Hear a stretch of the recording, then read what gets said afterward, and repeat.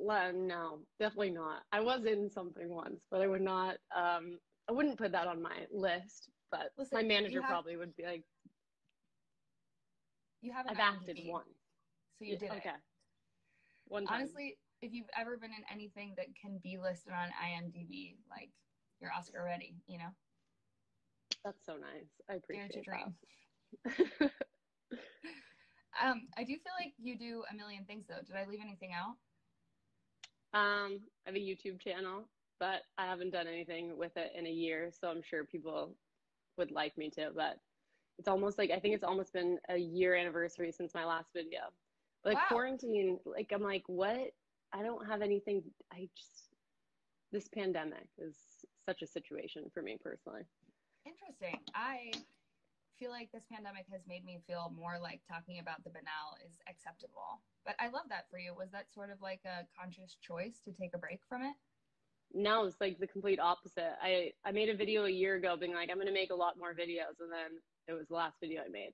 But I made a lot of other videos like that weren't for me and that's kind of what happened. Nice. Um and that brought me like a lot of joy and it was like I was feeling more inspired to do that than I was to like sit around and be like this is what I'm doing in a pandemic. Like I just I couldn't I I felt like it was like I needed an escape from that situation. And I felt I like that. most YouTube channels and everything was like, this is what you could do, or you could do this, or like, this is what I'm cooking. And I'm like, I appreciated watching it, but I was just like, I don't want to add to that noise. Like, it's not making me feel, I didn't feel inspired to do that. But I did love feel that. inspired to like create like an escapism from it and make other videos. So that was fun. You're a talented director and conceptor, and that's exciting. And I, I get the wanting to like take the spotlight off of your own experience a little bit. Not only did 2020 like teach us that it's really important to like give the mic to other people, you know what I mean? Black Lives Matter.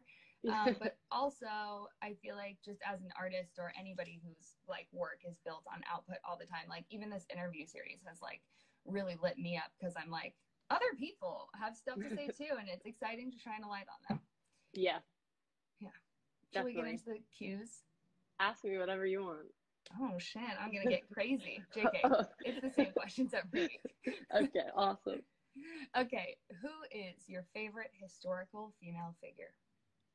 Oh my gosh. What a big question. Um who is? I mean, I want to say my grandma, but um I don't think that that necessarily counts. Oh, I'd like that though. I appreciate that. Um Is your grandma still with us? No, she's not. Okay, she's- so she made history. She is history now. Well, uh yeah. we can't Google her, what what about your grandma? Um she just was like the most empathetic, like nicest human being, like made everyone feel special and I just aspire to be like her. So she's just such a cool lady, like and just lived in like this small town, like nothing was really happening and like when she passed away, they like built a bench about her. And like it's just I mean, it's just by the baseball field. Like it's not like she's from Pennsylvania, like this little steel town and like whatever. But I'm just like she made a mark in her little space and I'm like aspire to be like her That's in amazing. my own You- ways. But You've definitely already earned yourself like a whole church pew. You know what I mean? Mm. Like by by Thank I don't you. know a hockey rink. I don't know. thank you. Thank you. I think that was a demotion. Actually, I'm sorry. no, but I'll take it. I'll take any any sitting area when I pass away. Please, please construct that for me. Okay, cool. I actually like sitting areas are really emotional. My dad taught me when I was little that when you pass a bench that's dedicated to someone, you have to sit on it for 20 seconds to honor them. So That's really sweet. yeah, I if I ever pass your grandma's bench, I will Please sit on it. Thank you. Um, but I also kind of want to hold you to this question and make you think of a famous person that's died. Okay. Okay. Okay. Okay. Okay. Okay. Can you okay. recall anyone? I also go blank with facts, so it's okay if you really. I know. I really do. I really do. Um, maybe like this. Maybe this is controversial, but like Marilyn Monroe, I just think that iconic, just iconic, and I, love that she like really. I love that she like owned her sexuality in a time when like, and not like queer sexuality, but like just being like a sexual human being in a time when like women weren't really like allowed to. Absolutely. Um, I think that's dope. And I feel like that's what so many people are trying to do now in like different ways. But yeah, she's definitely like a trailblazer for yes. she was definitely ahead of her time. People think of her as this icon of like femininity. Like some of her most celebrated quotes are like, "I'm in a, it's a man's world. I'm just living in it." But that's yeah. like fucking entrepreneurial. She was like, "I see what the world is, and I want to be a success." And she created an image, like a branded image, with the way she did her makeup and her hair. And yeah, she was incredibly sexual for the time, and also yeah. has like a lot of queer leaning, like kitschy pinup photo shoots of her like working out and stuff. Love that. We love her. The one thing about her that gets me though is that like people are like she's so fucking curvy, curviest woman in the world. She's like like a Not. size six still.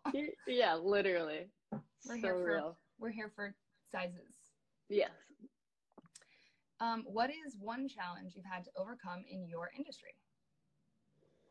Huh. Um that's an interesting question because it depends on what industry we're talking about and I'm not really sure where I am. Um, I feel like maybe like there's maybe like um like an idea of like a YouTuber and like what a YouTuber is, and I think maybe like you can feel like branded by that in a way that's like you feel less legitimate in some way. But that's also changed a lot. It's like interesting because when I moved to LA, I moved here because I was like really doing YouTube and it was successful and whatever. And I remember being like in Uber rides and I'd be like, oh, I'm, I'm a YouTuber. And I remember like all the drivers would always be like, you can like live off of that. And I would be like, I, I guess, I don't know. Yeah. And now I get in Ubers. I mean, now I would never say that because I learned don't really say what you do. Yeah. I'm always, I'm like, I'm a student. Like, I'm like, really, just um, really busy and on a call. Please yeah. I'm like, I'm like, I, I can't get into this, but you know, years pass and I'd be like, oh yeah, I'm like a YouTuber. And then it totally flips and they'd be like, oh my God, can I give you my card? So like it, it, YouTube has had like such a trajectory of like a different situation of like people not understanding it. And then people being like, oh, you can definitely make money off of YouTube. And I also want to make money off of your YouTube. And like, will you put this on your Twitter? You know, it's like, oh God, am I here? Yeah, I can still hear you. Did I lose? Did, did you lose me? You left. Okay, I got like a weird notification. It was fleeting. okay. Okay, um, but yeah, I feel like if if I've had any issue, it would be like with that and how YouTube has changed and like how people view you as someone who is a creator on, on that platform. Yeah, I mean that's so cool. You're a troubadour in your own industry and world, like Marilyn Monroe. I mean, you know what I'm saying, but like the the internet is crazy and anybody who took advantage of it or naturally was gravitated toward it early yeah the whole world is so envious of that at this point. They're like oh my god that's real. Same thing with tiktok yeah. etc so i so think true. that's super cool that you just like had a new way to change the world. Um what name a woman who has had a big influence on you. Oh god. I mean there's so so many. I feel like I'm like surrounded by women, especially in LA. Like, and I moved moved here. What is happening? My phone keeps like going black. Okay, can you oh, me? no. I'm nervous. Okay. I'm You're like a little frozen. Don't be nervous. Um, like to everyone watching, this is the internet. It's fragile. Like, just be patient with us. Yeah, so weird. Um. Anyway, I feel like since I moved to LA from I went to school in Oklahoma and like I'm from Dallas, Texas. And when I came out here, like I just immediately surrounded myself with like a lot of queer women and I've continued to do that. And I feel like it would be a disservice to all the women in my life to just say one woman has had the biggest impact on me because it's just like it's everyone. There's so many. And um yeah, I don't know. Obviously also my mom because I'm sure she would be offended if I didn't say her, but uh, yeah, just like all the queer women that I've met in Los Angeles and like the way that they've taught me how to like love myself. I feel like I I talked a big game before I got here that I was like, oh, I'm so fine with who I am and like I'm so comfortable in my skin. But like at the end of the day, I was still really like struggling with like being confident. And then once I got here and I was around so many other people like me, it like really changed my life. And I just was like, oh, actually, truly, now what I'm saying, I actually believe it, you know? Yeah, that's beautiful. I feel like that saying the queer female community totally counts because they are sort of like one gigantic being that just like knowing that that community exists can make you feel so much safer in the world and like seeing yourself in other people i feel that way too Um, I'm so glad that LA was so kind to you too. I think there's such a stigma about LA me being. I just moved there in the pandemic, and you know, like for the last ten years of me living in New York, everyone was like, "LA is so fake. Fuck LA." Like, sorry, I'm cursing. It's my page. I can curse. you can do whatever Um, you want. but like don't go there everybody's so superficial and like new york is real and be real like new york is where i grew up like that's my home for sure i would never hate on new york but la is totally about who you know and that sounds spooky because you have to be able to meet people but also there are lots of good people there and it can be a really homey cozy like environment to meet very real people who champion you i found Definitely. um, best advice you've ever received or advice you'd give to your younger self or your life's motto. I lumped all these together because I feel like they kind of beget the same answer or whatever. You can answer it however you want. Life's motto, advice to your younger self, or best advice. Okay. Well, my whole YouTube channel is really dedicated to my younger self. So if you ever wanted to know what I wanted to say to myself, you could just watch that because definitely the whole thing. Yeah, yeah. Just watch all of that. But yeah, that was definitely all of all of my YouTube stuff has always been like because I didn't have that voice, and so I created it basically for myself. But obviously, it resonated with other people, which is really nice. Um, but like uh, like quote, my dad always told me to be intolerant to intolerance. Mm. So I feel like now more than ever, that's really um, important as well. So yeah, just to be intolerant to intolerance. That would be my God. It's so lucky to have good advice from your parents. Like that's a really good one. Go dad. Yeah, I know. He's we great. also stand good dads on this page. we do. My dad's my dad's advice to me was cross that bridge when you come to it, which is also really good. I feel like I like stress so much in my life. I try to control everything ahead of time. And Yeah. that's just like so simple. And I can always see him saying it. Like it's so nice to have good older people in your life who have advice for you. so true. Um okay, this one's like really serious. I don't know if you're ready to go here, but um salty or sweet? I was like, this is either going to be very serious or she they're they're joking with me right now. I'm like, fuck. You did Okay. a great job. Don't worry, you correct yourself immediately. Thank you. That is an Sorry. example of a kind thing to do. We love it. It's okay to make mistakes. Working. Okay. Um, I'm salty. You are salty. I love this question because sometimes people answer it in a personality way and sometimes people choose what they want to eat. So which way did you just answer that? Definitely food. I'm like, I'm yeah, I'm more of a salty food person. I would say I'm a sweet personality person. Salty I think food. that's like definitely what you give off, but I thought you were just like revealing a first look at the fact that you're actually really nasty. Imagine. No, no. I'm. I think I'm sweet. I definitely can be salty as a personality as well, but I mean, that's sweet. necessary, right? yeah, yeah. Um, okay, so I'm also salty. It's a trick question. It's a trap. All of my fans know that I love salty. So now that I know we're on the same page, what is amongst your favorite salty snacks? Mm. Um, I definitely. I'm a sucker for just like a potato chip, specifically like a hot Cheetos. Definitely a, a vibe for me. Um, my favorite food is like penne alla vodka. So Okay, it's pretty salty, but it's not really a snack. It's more of a meal. that's fine. But- yeah, all yeah. food is snacks to me. I just eat throughout the Okay. day. So Okay, good. that was a great answer. I feel rejuvenated by that answer, and we're about halfway through the interview, so that was great. Thank you. Perfect. Hot Cheetos, shout out, sponsor both of us.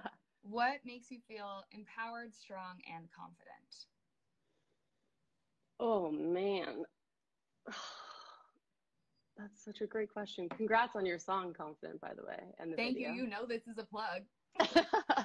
Congrats. It, it all looks amazing. Thank Um, you. Our mutual friend Katya, who like works with Shannon a lot, directed that video, and it turned out so so so great. So it was a win for all of us. You are a wonderful dancer. I cannot not in a million years do any of that. But Thank um, you. It was really like empowering for me to put that into something because I have never like sh- found a way for that side of my dance life to come into my music, and I was like, mhm. I gotta write more songs I can be slutty to. This feels so good. oh my god, so real. okay, Um, back I- to you. Yeah. Okay. Well, I will say dancing does not make me feel confident Cool. because I am very bad at it. Um, I feel like I feel most confident when I like put something out and it's received by a lot of people. Like, like I don't know. I don't even know how to explain this because it's gonna sound really stupid. Like, not necessarily like, oh, when I tweet something and a bunch of people are like, yeah, I feel the same way, but like sort of like everything I've done with social media, like when I put out a message and it's received by a lot of people in a way that they're like, oh my God, I feel seen is when I feel the most confident because I'm like, oh my God, I like was anxious to say that or put that out there. And now I know that I'm not alone. And now I feel more confident in whatever it is. Like, and it's a lot of different things, like whether it's talking about mental health or it's talking about like my sexuality, whatever. That's when I feel the most, I guess, when you like see yourself in a mirror of other people is when I, I feel that. most confident which takes sharing, which is so scary. But like, it's cool that you your life has brought you to a place where sharing has often enough begat being seen or feeling connected to people. That's cool. Definitely, definitely a unique experience. I don't know about you. I feel like this probably happens to you a lot, but I get a lot of messages from people being like, "How do I come out?" or "How do I tell my truth to my family?" or "How do I be like more confident in who I am?"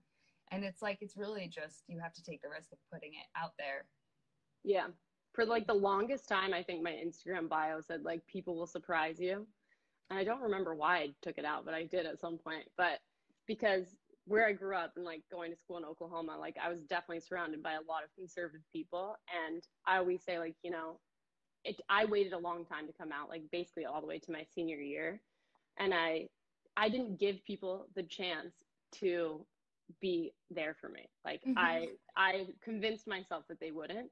And so I just didn't ever say anything. And then finally I did. And I'm like, people will surprise you. Like you you have the ability, like if you don't give someone the chance, you'll never know.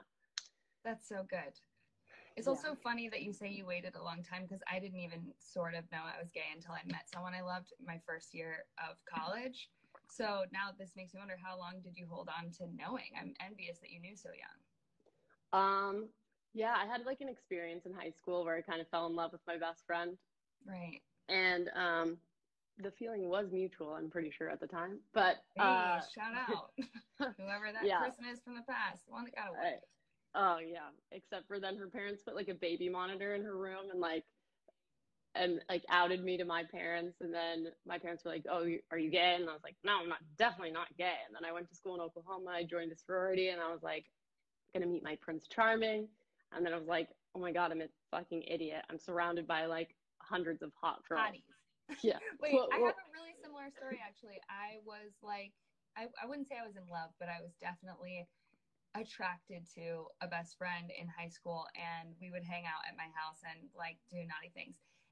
I didn't even cross my mind that I was gay. I was just like, who cares? Trying stuff and my parents even uh, like my my church i also come from a pretty small town my church sent an anonymous letter to my dad with photos of us on myspace that were literally just like the scene kid thing at the time that were like we're in a photo together love you bestie and um my dad called me down from hanging out with that friend and said are you gay because if you're gay it's okay oh my gosh that's and nice. i was like that you're like no absolutely not and i truly believed it until I like fell in love in love when I went to college. That's so funny. But yeah, it's good to know. It's good to know that people are they will surprise you because people love you. People in your life love you and they'll get with your reality if you just share it with them, you know? And if they yeah. really don't, then like kind of fuck them. Yeah. I mean, the queer community is a family in and of itself, so. Yes. Absolutely. Okay, that was a really great answer. Um, what is your most prized possession? Oh my gosh, this is so funny because I was looking at your Instagram to see like kind of like what your other interviews had been like and I think you have like a I, I don't know, like I don't even understand Instagram anymore. It's so fucking weird to me, but you had a highlight of someone talking about a ring. Yes. Or whatever, whatever, I don't know, highlight. Oh my god, I sound so old. Let's yeah, whatever. Anyway, there was a clip. yeah, yeah and I was like, oh my gosh, if they ask me this question, this is so awkward because this is like my answer as well, but a little different. I I always wore a ring of my grandma's on my ring finger. I have like a tattoo on it, like an awful oh, yeah. stick and poke tattoo, but memories. But I used to it used to be hidden all the time because the ring was like perfectly big enough to cover it.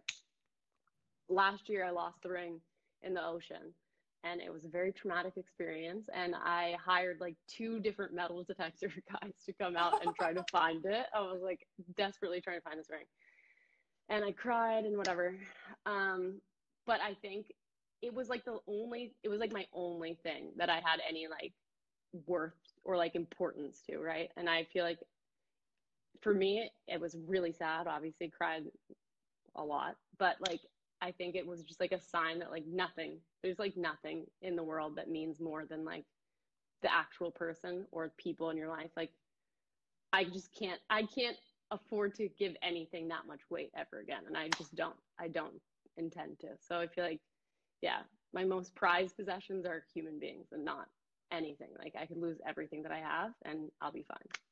That's so beautiful. Wow. So if Nine Lives teaches anybody anything, it's just like don't give a fuck about your jewelry. you will lose it. yeah, that's the no, lesson that from is, this series. It's such an important thing though to to like I don't know. I feel like I'm almost too good at this, like letting stuff go when I fuck it up, or like like just knowing that you can't be too attached to anything, even just like songs or things that I like have put my heart into. Like somehow the hard drive yeah. disappears or something. Like yeah. Really, you can't imbue too much significance into any physical thing. It's so real. Totally. I love that you have a shitty tattoo about it, though. You can tattoo your body for life. yes, yes, I'll never lose that unless I. Do you have a lot of tattoos? Um, no, I only have three like very small tattoos, and two of them are about my grandma. So like I am too obsessed with my grandma. Like I have to chill a little bit about it. I was trying to think of a like another tattoo the other day, and I was like, "There's a problem because everything is like coming back to my grandma, and this is just too weird now. Like I my obsession." Um, no, I love yeah. it. She's your own. Like some people spend their lives being obsessed with katharine Hepburn, me, or yeah or somebody who has died who was an icon to them. That's so cool that it's somebody in your family who like you definitely carry ancestral like trauma and magic from whatever. That's really cool that you feel so connected to her. Yeah, funny though. Yeah, so I have I have three tattoos. I have this one. I have my grandma's name on my wrist because it's June. And when I got it, my stepsister literally texted me. and She's like, "Oh my gosh, it's so cool! For did you get it for Pride Month?" And I'm like, oh. I'm like, oh my god, so I'm, funny. I'm so gay that that's what she thinks. And then um, I just got a tattoo for like my family because there's four of us me my mom my dad and my sister and then we've had a lot of i've had a lot of step siblings and a lot of step situations because my parents have been remarried a couple times and i love all of them but i just got this four because i'm like at the end of the day like i have this like core group of people and like my mom and my dad both had cancer in 2019 and but like they're they're both fine and everything's fine but like my mom like picked my dad up after he had his like surgery on his ear and like he stayed with my mom and like they're divorced they've been divorced since i was 10 but like we're all there for each other still so was just That's to like really cool. signify that yeah my parents have also both had cancer and are also oh really they still work together as parents yeah that's, That's so cool. cool. We have too many similarities. We should we should talk not on Instagram Live. Yeah, we should have a real chat. it's so cool. I love structured questions and structured games though because this would never come up, you know? Yeah. I agree like, completely. A lot of my friends absolutely abhor games, but I think that you always end up somewhere you didn't think you were going. Oh my god, I'm a gamer through and through. You're a gamer? Like what? I no, not like actual games. No, you just like not games? like yeah. My mom's like obsessed with like board games and stuff. So I've grown up like sitting around a table playing games. I love them. So is that like your ideal celebration, like a board game and wine night type of thing? Yes, I would say that usually, but now because of the pandemic, I would really love to go to like a bar and dance awfully, you know? Like usually yes. I'd be like, oh, I love the board game night, but like I'm, I've done it a lot now. So you I would like craving an actual night out. I would love well, to leave my house if you feel like risking your life, I'm in Miami and people are dancing. I don't um, feel like um, risking my life, but don't don't do it. It's not great. Don't do it. But I am in a show that's safely distanced, and you can come see it if you feel like risking your life in the streets of Miami. There you um, go. What is one thing everyone could do to make the world a better place? Mm, have more empathy, just like in general. I feel like we are so divided right now in so many ways, especially just with, I mean, obviously politics and like just I just don't I feel like there's never gonna we're never gonna get to a place again where we can see and understand each other unless people can be more empathetic and like have conversations where you're like actually earnestly trying to teach someone something or like share your experience because right now it's just so much of like this is what's right this is what's right we're never going to agree with each other. And like obviously at the end of the day there's a lot of things i truly believe are wrong and i don't agree with people's opinions but just yelling into the void and like yelling at those people and being like you're wrong i'm right. You're never going to get anywhere with that. So i think just being more empathetic and if both sides could be more empathetic hopefully we could come to some kind of like understanding of like how the world could be a better place for both of us yeah you know? i I totally feel that, especially being like involved in social media, there uh, there is actually like algorithms that work to show you what you want to see and to also make you excited when you see division break out. You know, cancel culture is like super unhelpful. Like even though I'm incredibly like I don't know, I'm dedicated to work against sexual violence and inclusion of LGBT people. I do feel like we're not having enough conversations with the people who are getting it wrong. We're not teaching anybody how to talk about consent. We're just talking to ourselves with people who agree that the other guys are bad.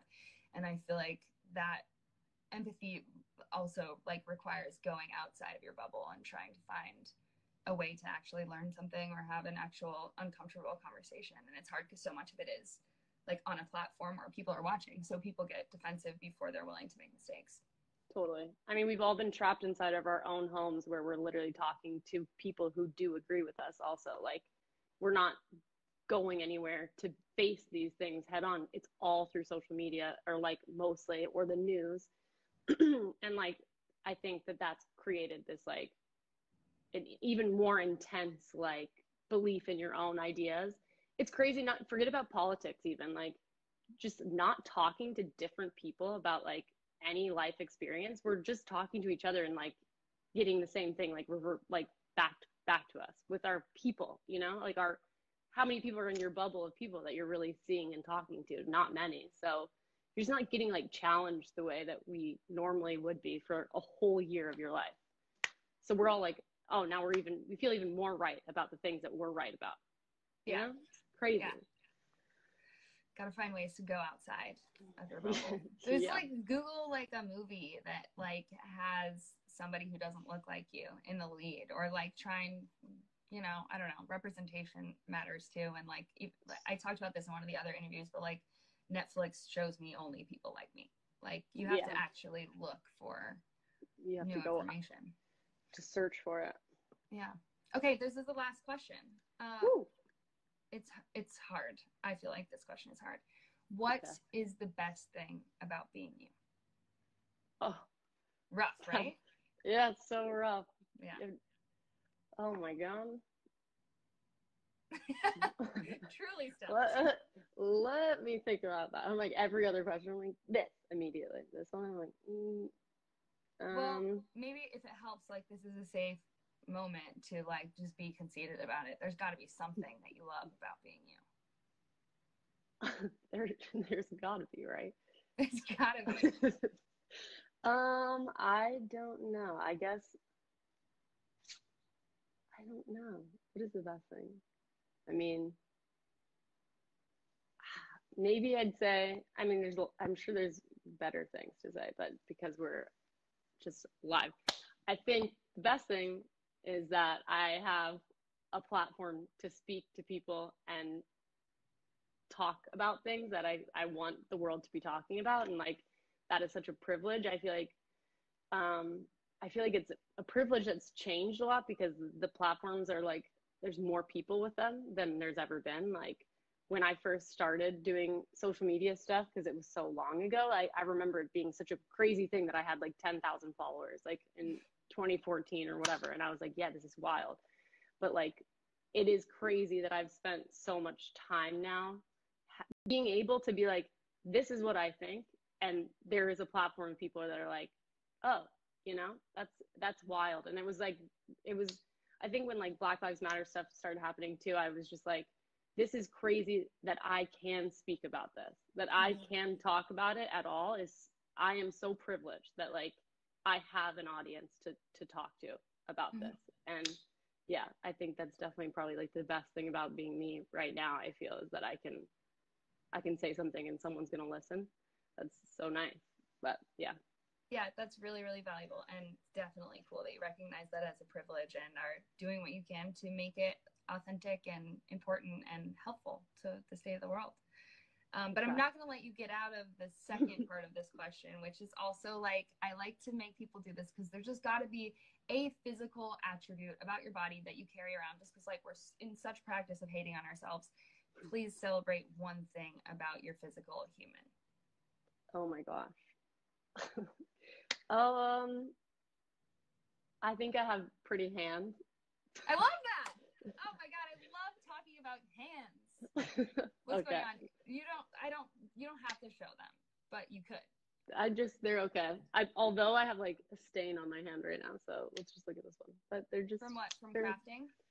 No, I actually have a self tanner that I like use on my face sometimes that spilled when I moved and yesterday was all over my bathroom counter and I cleaned it up and obviously it didn't do a good job cleaning Amazing. because it's it stained me. That's amazing. I would feel so frightened to use self tanner on my face. I would definitely look splotchy as hell. So No. congrats on that.